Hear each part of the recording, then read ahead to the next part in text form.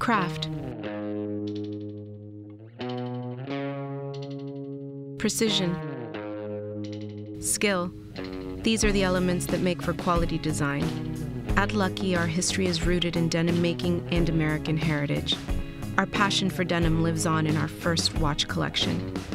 Each timepiece is assembled carefully, piece by piece, for accuracy and beauty.